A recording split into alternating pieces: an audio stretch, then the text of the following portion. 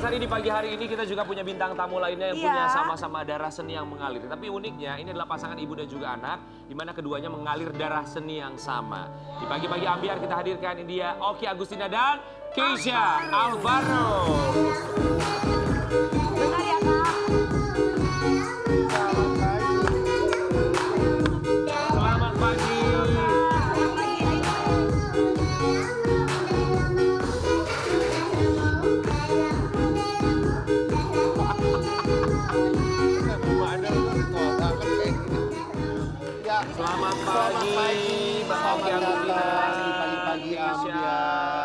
ya? Alhamdulillah. Gimana puasanya lancar? Alhamdulillah. Amin, Ya kita alhamdulillah berempat ya. mengucapkan Terima Terima kasih banyak. sudah menyempatkan waktunya datang sini buat Teh Desi. Sebentar ya sayang, silakan duduk sayang.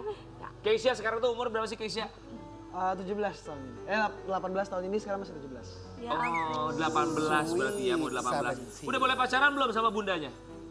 Gimana, Bun? Udah boleh belum?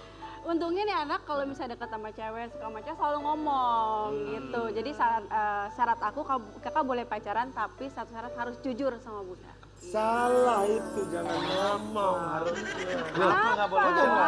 Jangan ngomong. Harusnya Harusnya Ngomong dong. enggak. Kalau anak zaman sekarang tuh jangan langsung diomongin ke mama. Dilihat dulu, ceweknya bener apa enggak, bagus apa enggak. Oh dia nanya pendapat aku justru. Harusnya jangan tanya pendapat mama. Tanya siapa? Tanya siapa? Pendapat aku. Diperbolehkan. Anda siapa, untuk sayang? pacaran. kan ini bundanya. Ini bundanya sayang. Bundanya, Ah. ini kan calon bapak barunya. Dinasar kayaknya lagi cari jodoh kayaknya ya. Semuanya. Ya, saya mah yang mana aja lah. Kita mau kasih lihat dulu sama sobat ambiar di rumah. Ini tanggapan dari bundanya Oki Agustina sendiri dengan kesuksesan Keisha Alvaro. Karena kita Ya. tahu sekarang dia sibuk syuting segala macamnya. Kita kasih lihat dulu tayangan yang satu ini. Silakan duduk. Saat bahagiaku duduk berdua Aduh, duh, duh, duh, duh. Nama Keisha Alvaro, artis remaja anak dari Oki Agustina dan Pasha Ungu ini kini sedang melejit tinggi lantaran kepiawaiannya dalam berakting yang sudah dijalani sendari kecil. Apa semengenaskan ini kisah cinta gue sama Yaya Santi? Dulu gue udah berjujur sampai yang gue dapetin dia. Dan sekarang gue udah gak ada kesempatan lagi buat dapetin dia. Ternyata selama ini gue salah. Gue ngerasa dia masih punya perasaan sama gue. Gue ngerasa dia masih cinta sama. Tapi ternyata enggak.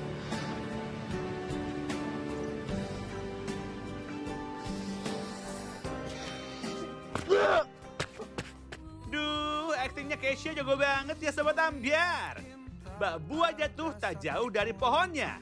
Ternyata Oki dan Pasha berhasil mengalirkan darah seni kepada si sulung Keisha. Lalu bagaimana ya tanggapan sang ibunda Oki Agustina melihat kesuksesan putra sulungnya tersebut? Kita tanya langsung yuk. ingin kau selalu bisa Ya ampun, Kesha.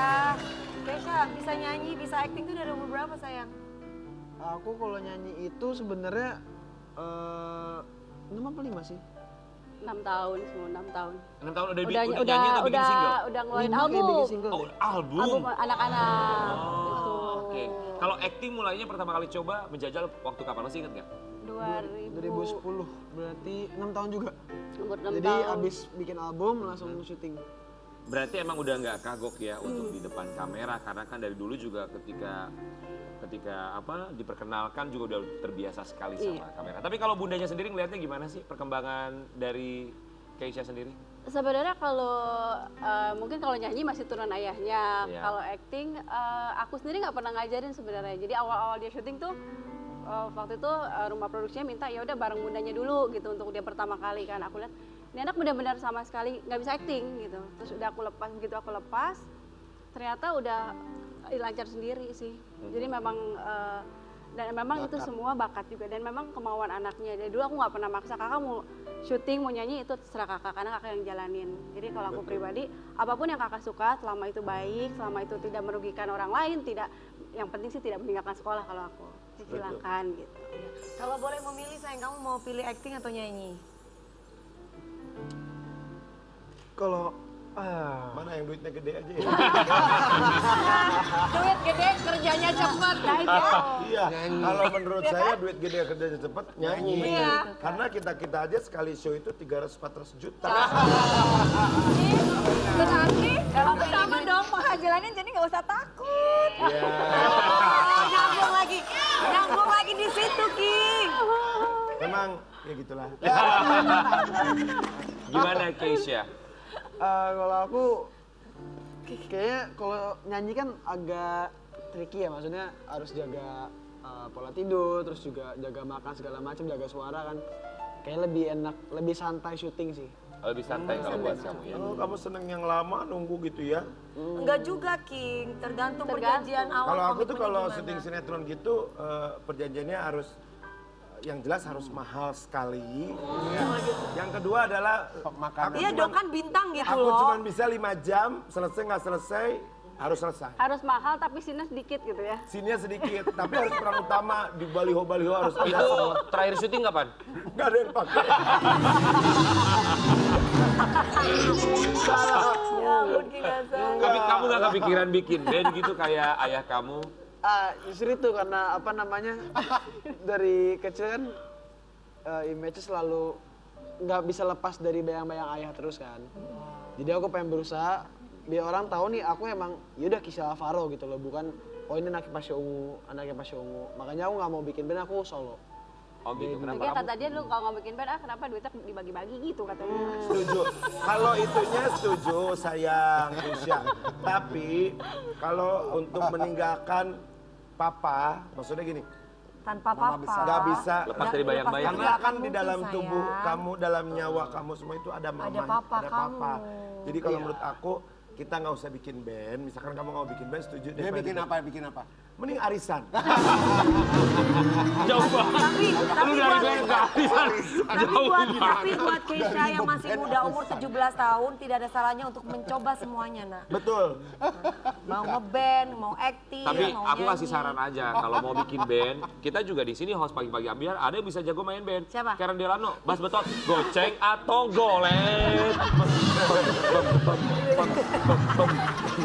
Ya Allah. Eh, diketawain sama Kak Desi loh. Oh, Rian. Iya buat kita buat Keisha kita mau kasih lihat artikel ya. Kata, Rian tuh suka jadi eh, kadang aku suka merasa berdosa ya sama. Di bulan puasa loh ya. Iya, iya, iya. Kita mau kasih lihat. puasa masih aja lu julus Ini ya. ada artikel buat Keisha katanya kata ayah kamu kamu jauh lebih hebat dibanding ayah kamu. Oh iya, bangga dengan kesuksesan putra. Ulang lagi nih ah. Bangga dengan kesuksesan putranya di dunia hiburan. Pasha Ungu berkata, Kesha itu jauh lebih hebat dari saya. Sayang, kata papa. pastilah seorang ayah mah gitu semua. Gimana tanggapan kamu Keisha? eh ya kalau aku sih sadar diri ya yang enggak lah masih aku masih jauh banget untuk bisa selevel sama ayah tapi bukan berarti aku nggak bisa ngelebihin dia Betul. Eh, mungkin sekarang ibaratnya tugas aku untuk membuktikan kalau aku bisa, jauh lebih hebat daripada ayah. Ayah dijadikan guru buat kamu gitu ya sayang ya. Motivasi juga ya. Sosok ayah kamu, sosok seorang Pasha di mata Keisha, Alvaro itu seperti apa sih? sosok yang tegas disiplin em, dia bisa mengerti ya, ibaratnya kebutuhan anaknya. Jadi ya dia kan emang uangnya banyak ya Oh banyak ya? Oh banyak ya uangnya ya? Oh Terlalu jujur. ya? Terlalu jujur. Oh, papa uangnya banyak. banyak, Papa. Banyak, banyak. ya dia tahu mana kebutuhan jadi kalau misalkan aku nih contoh eh, misalkan aku pengen beli sesuatu itu ayah biasanya ngasih tantangan dulu kayak harus bisa begini harus bisa begini Supaya berjuang. Tidak semudah itu. tidak semudah Iya, itu iya, jadi bagus nggak memanjakan anaknya eh, begitu besar lah gitu Bagus memang yang betul begitu. Memberi kailnya ya. Iya, jangan dikasih umpa ininya apa Ikan. Ikannya, Ikannya. tapi kailnya, jarinya. Tapi kalau dari um, Bunda Oki sendiri ngelihat Keisha Alvaro sekarang beranjak dewasa, mau 18 tahun loh. Ada rasa deg-degannya nggak sih? Pastilah, apalagi kan pergaulan sekarang tahu sendiri kan, uh, agak-agak serem gitu. Kalau Bunda cuma bilang, eh, yang lurus-lurus aja deh gitu. Abis bingung ya karena anak sekarang kan kalau Betul, betul. Ah, harus lurus-lurus aja. Yang penting eh, sholatnya nggak ditinggalin. Kalau aku lebih ke situ karena serem ya sekarang. Serem banget, apalagi kalau sama ini Karen. Tapi Iya. kita mau kasih lihat juga ya sama Sobat Ambiar, katanya Keisha Alvaro ini pacarnya banyak sekali. Ada artikelnya nih, baca kak. Ditanya soal jumlah mantan pacar, begini jawaban Keisha Alvaro. Gimana jawabannya Keisha? Banyak ceweknya tuh biasanya play long namanya ya, play Playboy. Play long, tak sampailah Nazar. play long. Aku malu. Lanjut Oh malu sih anak Tata Desi Ratnasari gitu Iya, banget habis suka ngeliatin. Pacar kamu ada berapa sih? Eh, mantan deh, mantan. Kamu pernah pacaran berapa kali deh Keisha? Ya, jadi aku jawab yang ini dulu ya. Oke, boleh. Jadi, eh, kan ada yang nanya waktu itu, Kisha mantannya berapa? Aku jawab, waduh nggak tahu lupa. Pokoknya nggak lebih dari 20, aku bilang gitu. Oh, kamu asal nyeplos aja? Asal nyeplos aja. Sebenarnya mah nggak pernah pacaran. Masa nggak pernah pacaran? Bohong banget dah. Nggak pernah, nggak pernah kan? Ya, PDKT kali Ana ya. Coba tanya sama bunda aja ya. Oh, PDKT iya. Oh, PDKT iya. PDKT iya. Tapi nggak pernah pacaran, nggak sampai jadian gitu. Ah? Nggak pernah kok, serius. Nggak pernah. Bun, emang iya bener? Tapi ada nggak ba- perasaan kepingin pacaran karena ada perempuan yang kamu suka? Enggak, enggak, Banyak, enggak, kalau bercanda, itu bercanda. banyak. Pernah, pernah, pernah. Oh, pernah pacaran? ya? Pernah, pernah. Mau nggak aku jodohin sama anak sambung aku? Siapa? Mah, kita jodohin aja, Mah. Lebih tua dong. Naswa nanti nggak berondong dong. Naswa kan umur 20. Ya nggak apa-apa. Nggak Kan apa-apa kalau saling mencintai kan nggak apa-apa. Oh gitu ya. Pokoknya Oh, kalau kalau aku sih gini sih prinsipnya. Eh, kalau mau tahu mana yang serius mana yang enggak, Apa? itu biasanya kalau udah dikenalin sama orang tua. Hmm. Ada yang pernah dikenalin sama bunda? Udah. Ada. Berapa orang bunda yang pernah dikenalin? Baru dua sih yang kenalin, nggak yang selebihnya enggak. Dua. Terus ketika dikenalin gimana tuh mereka? Hah? Biasanya dikenalin malah gagal sih. Kalau saya dulu mau ngenalin cewek ke rumah orang tua, saya yang lihat serius atau tidaknya kalau dia nyanyi lagu Warudoyong. kalau hafal, Ja- Jadi besok kalau saya dikenalin nyanyinya lagu apa? kalau besok digilir cinta. Kalau hafal berarti oke lanjut Berarti serius. oke, berarti cinta bener. Tapi di gilir Aduh, kita lagunya yang kayak apa kan kamu harus kasih tau aku dulu. Kasih tahu Ki biar hafal Ki. Tahu, tahu, tahu. Ya, nanti kan bisa di WhatsApp lah. Buat eh, sobat Abiar di rumah kita mau kasih lihat juga ternyata ada kekhawatiran dari Bunda Oki Agustina. Iya, Katanya anaknya menikah Hmm, muda ini ya. kita punya artikel ya. Takut Keisha Alvaro menikah muda. Oke Agustina, jangan macam-macam ya. Nggak boleh emang nikah muda. Aku udah bilang kak, dia kan dulu sempat ngomong kan kayaknya kalau nikah bunda kayak eh nikah muda kayak ayah sabun enak ya. Aduh kak, jangan dulu bunda belum mau jadi oma aku bilang gitu belum pengen punya cucu. Nggak tapi kalau aku pribadi sih ngelihat dia memang eh apa ya sekarang aja masih dikit-dikit bunda, dikit-dikit bunda gitu. Kalau kalau namanya nikah muda kan harus tanggung jawab ya Iya. gitu. Kalau kamu memang udah benar-benar siap, udah benar-benar mateng, udah nggak tergantung sama bunda lagi silakan. Jadi gitu ya, tidak boleh ketergantungan dulu sama orang tua, Iya, baru boleh sudah betul. mandiri. Karena kan namanya- sebenarnya udah mandiri loh kan udah jadi artis kan. Dia sudah mandiri sebenarnya. Cuma tetap apa-apa bunda, apa bunda larinya bunda lagi, bunda Ya lagi. nanti kalau punya istri, apa-apa istri, apa-apa istri. Kamu itu umur berapa sih, Kesia? 17. Kalau tuh, hmm, ya janganlah, maksudnya. Masih muda, masih harus menikmati Perjalanan masa masih muda. panjang. Ya jangan kayak saya juga kan nikah menikah nikah berdua Iya, cerai gitu. iya jangan kayak Tante Dewi lah, jangan juga. jangan. Jangan kayak bundanya juga sama. Jangan kayak juga kayak tante Devi. Contoh-contoh buruk ini. Berarti, berarti kita- cuma kita berdua nih ya. Sini, sini, sini, sini, sini. Kita nggak pernah. Iya, kita nggak pernah. Lihat deh, ini contoh-contoh yang sudah berbicara semua nih. Ini bapak? Ini contoh-contohnya loh ya. Oh ya tapi nggak apa-apa jadi pembelajaran hidup, pelajaran hidup juga. ya. Makanya harus berani mencoba dulu dong. Nggak apa-apa. Tapi kalau Keisha sendiri, kamu pasti punya harapan, Harapan. buat kamu ke depannya. Cuman kan kalau ibu pasti ibu ini selain harapan juga doa yang biasanya insya Allah akan dijabah ya. Kita juga berharap hal yang sama. Kalau dari Bunda Oki Agustina harapannya apa sih untuk seorang Keisha Alvaro? Kalau aku sih nggak nggak muluk-muluk ya. Kamu harus jadi orang yang jujur.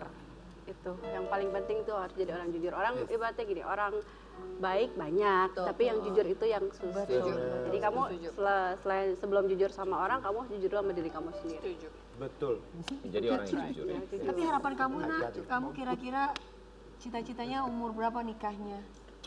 Planning, planning, planning. Eh, Nggak usah lah. yang yang pasti eh, kalau sudah eh, apa ya Mapan, dewasa, Maaf, cuma banyak yang ngomong ya eh, aku banyak dengar dari orang gitu nggak harus nunggu mapan dulu sebelum nikah jadi mapannya berjalan aja gitu loh cuma kalau aku nggak bisa Oh jangan sayang, kamu laki-laki sayang. iya aku nggak bisa aku harus mapan dulu Kenapa? Kenapa? Maksudnya kalau laki-laki kenapa? Laki-laki itu harus mapan buat dirinya sendiri, Iya. baru bisa buat mapan untuk orang Mapan lain. tuh Kalau kalau- buat orang lain aja nggak bisa, gimana mau buat diri sendiri? Iya, mapan tuh.